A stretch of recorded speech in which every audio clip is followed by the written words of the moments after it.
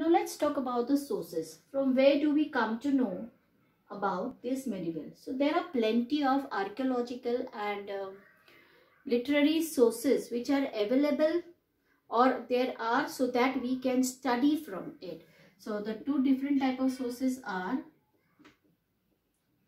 archaeological sources and the other one is literary sources. In uh, archaeological sources, we have coins, monuments, we have buildings, we have inscriptions, we have paintings, etc. And in literary sources, we have autobiography, biography, chronicles, travelogue,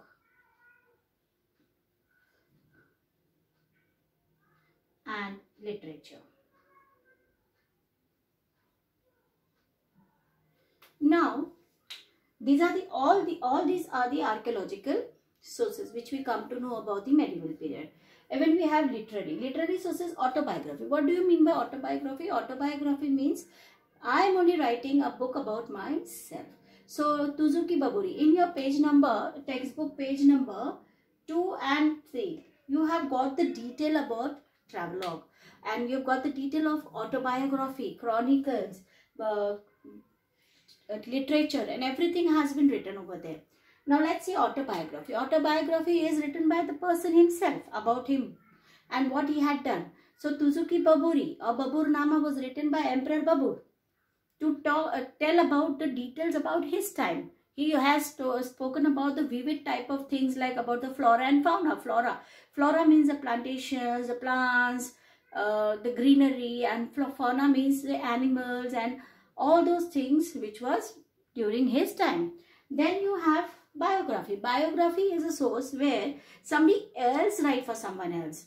Like if uh, somebody is writing a book on me, then that becomes a biography. And uh, Ain-i-Akbari. N.A. Akbari was written by Abul Fazl and Abul Fazl has written about the administrative level uh, or administrative how Akbar used to manage is administration at that time.